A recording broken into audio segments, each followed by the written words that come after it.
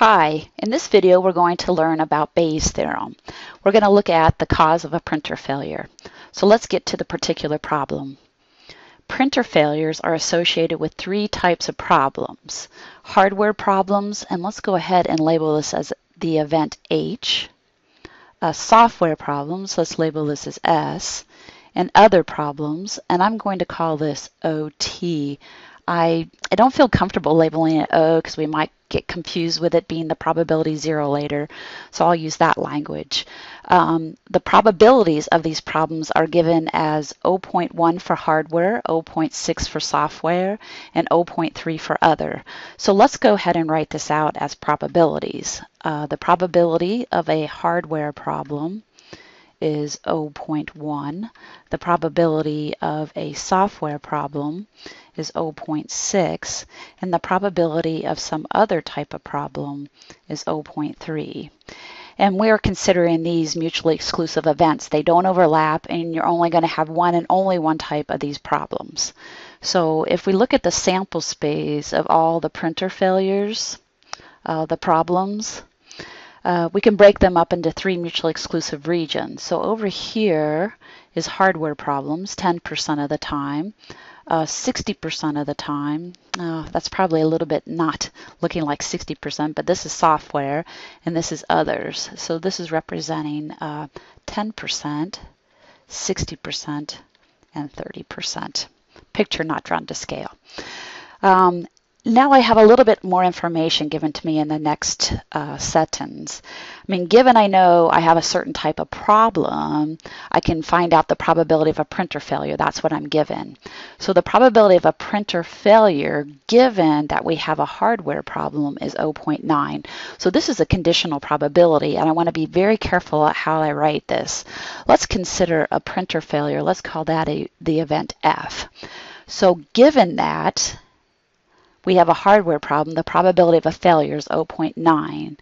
So in probability language, this is how we would write that. So probability of failure given hardware problem is 0.9. Okay, the symbol in probability means given that. So given that I have a hardware problem, the probability of failure is 0.9. Probability of failure given software is up here 0.2 and then probability of some, um, given we have some other type of problem that we have a printer failure is 0.5. That's given right here. So it, I think another picture would help you. If you think about it, um, failures can occur in each of these regions. Um, given I have a hardware problem, the probability of printer failure is 90%. So there's a large probability of failure here, 90% uh, of the time in this uh, part of the sample space. Um, in software, only about 20% of the time, about half the time in the other. So if you want to, you could just imagine labeling this event failure, and you can see it overlaps each of those regions. Okay, so the total probability of failure is actually dependent on which of these regions you're in. And we've learned that in the previous chapter. That's called total probability rule. So in fact, we might as well write that out here. Um, the probability of failure well, failure can occur three ways. Failure given you're in the hardware, given you have a hardware problem, failure given you had a software problem, or failure given you had another type of problem. And I have to multiply by the probability I'm even in one of these cases. So let's go ahead and just use that rule, um, the total probability rule to write out what I just said. So probability of failure is probability of failure given you had a hardware problem times the probability you even had a hardware problem. I mean, the hardware problem is the least likely, but if you do get in that hardware category, the probability of failure is quite high. Um, plus the probability of failure given a software problem times the probability that you would have a software problem plus the probability of failure given other times the probability you would have an other type of problem. And I actually calculated this on the next page, but we could easily do, I mean, the way to calculate this totally is just to plug and chug the values we have above. So hardware, um, given we have a hardware problem, uh, the probability of failure is 0.9 times probability hardware problem is 0.1 plus probability of failure given software, 0.2, times the probability I even have a software problem, 0.6, plus probability of failure given other is 0.5 times the probability you're even sitting in the other category. And if we add all these up, um, I'll guarantee you it's 0.36. So probability we have a, a, printer failure right now is 0.36. I wrote all these numbers on the next slide so we could carry over the information we currently have. Okay, so here's what we have, exactly what I told you. These are the givens we had written out on the previous page. And we did already find uh, the probability of failure.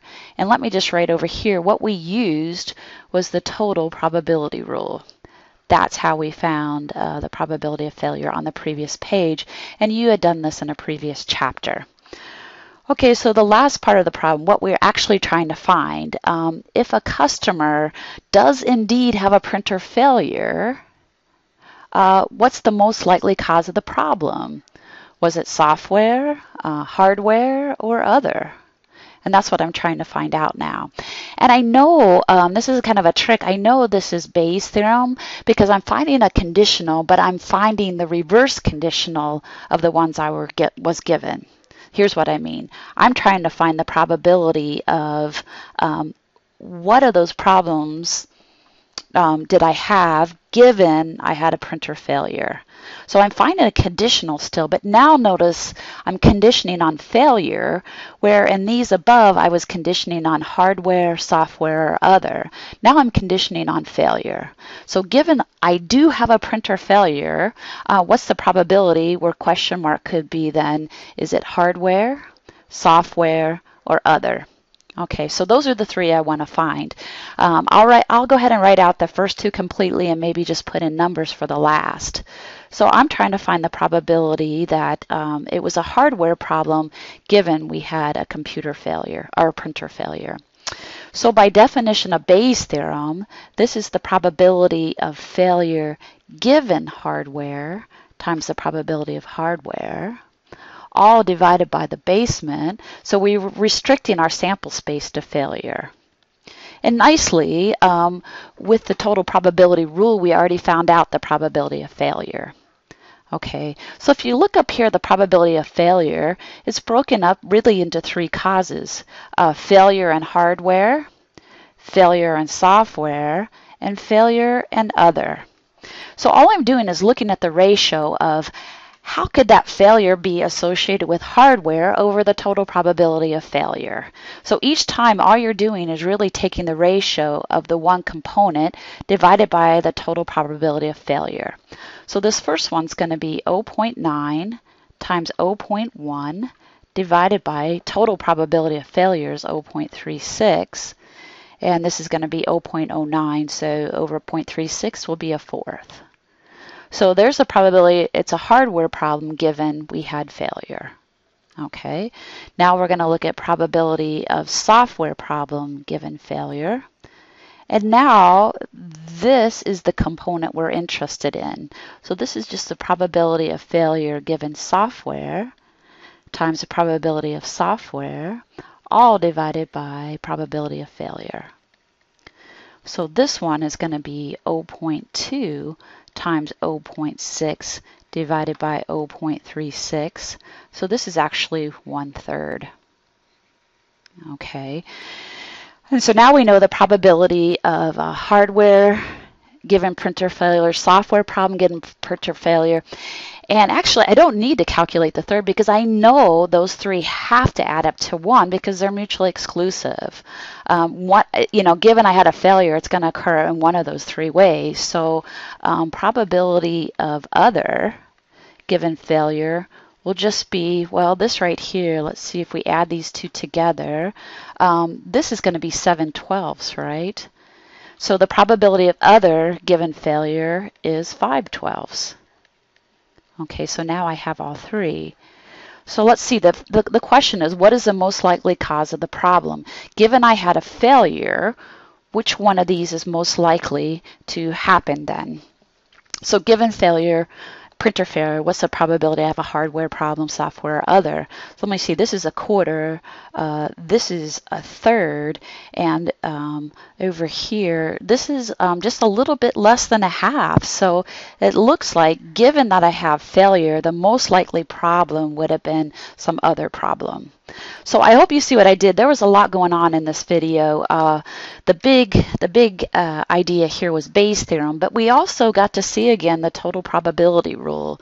So just in conclusion, um, a few notes, be very careful to write out your events um, very systematically and very thoroughly and be um, be very clear because it's going to matter in the end how you write that conditional. And a big clue again for Bayes' theorem is you're still working with a conditional, but it's going to be the reverse conditional of the ones that you were given in the in the problem statement. So I hope this helps, and uh, I hope that uh, you feel good about Bayes' theorem, theorem now. Okay, thanks, and we'll talk again soon.